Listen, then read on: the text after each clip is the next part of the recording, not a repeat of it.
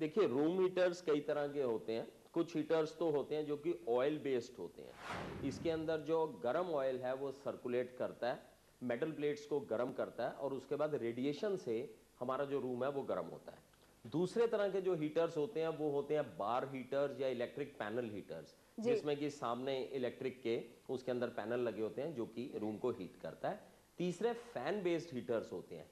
इनके अंदर भी फिलामेंट्स लगे होते हैं लेकिन फ़ैन गर्म हवा बाहर भेजता है। और चौथा तरह जैसे कि हम लोग सब जानते हैं वो एसीज हैं जो कि गर्म एसीज जो कि काफ़ी सेफ़ होते हैं जो कि ना केवल वातावरण को अनुकूल बनाते हैं लेकिन वो एयर की क्वालिटी ऑक्सीजन की क्वालिटी को भी रेगुलेट करते हैं। बिल्कुल। डॉक्टर साहब आप रहिए हमारे साथ इस वक्त। देखिए आप दो तीन चीज़ों का ध्यान रखिए। अगर पहली चीज़ तो ये समझ लीजिए कि जब सर्दी बहुत ज़्यादा है तब आप इसका इस्तेमाल कर सकते हैं। दूसरा, इसका इस्तेमाल एक डेढ़ घंटा जब तक कि थोड़ा सा एटमॉस्फेयर गर्म ना हो जाए, तब तक कीजिए। तीसरा, इसका मुँह जो है वो बिल्कुल दीवार की तरफ़ करके कीजिए। और चौथा, ये प्रिकॉशन खास लीजिए कि इसकी जो कॉर्ड है, तार है, वो कहीं रस्ते में ना आए। जो कॉर्ड है, वो बच्चे से दूर रहे और बच्चा इससे छेड़खानी बिल्कुल ना करे। कम से कम इस्तेमाल कीजिए और वो भी तब जब बहुत ज़्यादा सर्दी हो और इसका मुँह दीवार की तरफ़ करके आप इस्तेमाल कीजिए ताकि ये थोड़ा सा वातावरण को गर्म कर दे। पूरी रात तक, जैसे रात को चला के सुबह तक उसको चलने देना। देखिए, स्टीमर से आम तौर पे कमरा बहुत गर्म नहीं होगा। स्टीमर से बेसिकली स्टीम निकलती है।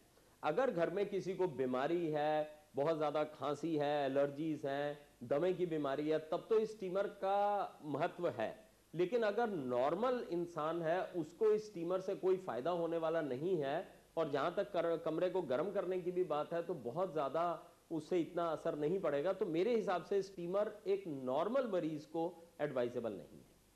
चलिए के दर्द के लिए भी हीटिंग डिवाइसेस का इस्तेमाल होता है जो कि कुछ हद तक ठीक भी है क्योंकि ये जोड़ों के दर्द के अंदर थोड़ा रिलीफ देता है इन्फ्लेमेशन को थोड़ा कम करता है।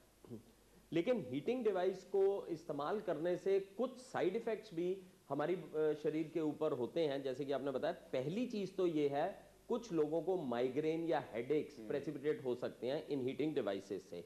तो इनको इस्तेमाल करते वक्त। दूसरा कई पेशेंट्स में नोज़ ब्लीडिंग भी हो सकती है नाक में से खून का भी आना हो सकता है। और जैसा कि मैंने बताया कि स्किन के ऊपर त्वचा के ऊपर इसके दुष्प्रभाव होते हैं खासकर जब हम हीटर चला के पूरी रात सोते हैं उसमें खुजली होती है और जो स्किन की जो ऊपरी सतह है वो काफ़ी ड्राई हो जाती है और उसके अंदर खुजली होती है। और एलर्जिक पेशेंट्स को खास ध्यान रखना चाहिए क्योंकि ये एयर को बिल्कुल ड्राई कर देता है और उसकी वजह से कई बार सांस में दिक्कत और घुटन भी देखिए जैसा कि मैंने पहले ही बताया कि दो तरह के हीटर्स हैं एक तो कन्वेक्टर टाइप के हीटर्स हैं और दूसरे रेडियंट टाइप के वार्मर्स हैं। जो रेडियंट टाइप के जो वार्मर्स होते हैं, जो हीटर्स होते हैं, वो कंपैरेटिवली थोड़े सेफ़ होते हैं। ऑयल बेस्ड होते हैं ऑयल की सर्कुलेशन होती है, एकदम से हीटिंग नहीं करते, एकदम से ड्राइनेस नहीं करते हैं और हीटिंग भी बहुत ज़्यादा एग्रेसिव नहीं करते हैं। तो ये हमेशा बेटर रहते हैं। लेकिन अल्टीमेटली आपको ये मैसेज देना चाहूँगा, आप चाहे कोई सा भी हीटर इस्तेमाल करें ये अप्राकृतिक है तो अगर आपको इस्तेमाल करना पड़ता है, बहुत ज़्यादा ठंड है और ज़रूरत आप समझते हैं तो काफ़ी कम समय के लिए इस्तेमाल करें। अक्सर हम लोग जो रात को चला के सो जाते हैं, सुबह तक वो चलता रहता है, उससे दो दुष्प्रभाव होते हैं। जो तो ये साइड इफेक्ट्स करता है, वो तो करता ही है, लेकिन मॉर्निंग में जब हम ऐसे वातावरण से एकदम बाहर जाते हैं तो गर्म सर्द होने से भी कई प्रॉब्लम्स हो सकती हैं। देखिए, ऐसा है कि अगर आप गर्म एसी चला रहे हैं, उसका टेम्परेचर सेट कर देते हैं, उसके अंदर ऑटो कट ऑफ़ सिस्टम है, फिर इसके साइड इफेक्ट्स नहीं है। अगर आपने उसको एसी को जो सेट कर दिया है कि 24 डिग्री के टेम्परेचर के ऊपर सेट कर दिया और उसमें ऑटो कट ऑफ़ है तो उसमें कोई ऐसे साइड इफेक्ट्स नहीं है। लेकिन जो ब्लोअर्स हैं हीटर्स हैं, अगर हम इनको बहुत ज़्यादा चलाते हैं तो जैसा कि प्रोग्राम की शुरुआत में दिखाया गया कि थोड़ी सी वेंटिलेशन होनी आवश्यक है अ, हवा का आवागमन जो है थोड़ा बहुत आवश्यक है तो वो भी उसका भी ध्यान रखना ज़रूरी है कि एक आध रोशनदान खिड़की जो है वो खुली रखें। अगर आप आप एसी चला के सोते हैं तो उसमें देर का कोई बहुत ज़्यादा वो नहीं है। आप अपने कमरे के टेम्परेचर को सेट कर सकते हैं 23 22 के आसपास के जो टेम्परेचर को आप सेट करके आप सो सकते हैं जिससे कि कमरे का वातावरण बहुत ज़्यादा गर्म भी नहीं होगा और क्योंकि उसमें ऑटो कट ऑफ़ होगा तो वो इससे ज़्यादा ना गर्म करेगा ना इससे ठंडा रहने देगा।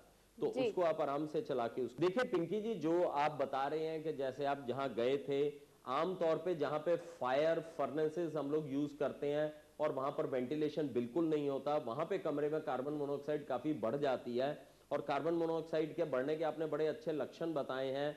दिल की गति एकदम से बढ़ जाती है पल्स एकदम फुल बाउंडिंग हो जाती है शक्ल एकदम लाल हो जाती है ये सब सिम्टम्स होते हैं और कार्बन मोनोऑक्साइड पॉइजनिंग में कई बार डेथ तक हो जाती है।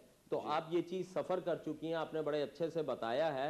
लेकिन आपको एक चीज़ बता दूँ इसके हमारे शरीर के ऊपर लंबे टाइम तक कोई दुष्प्रभाव नहीं होते।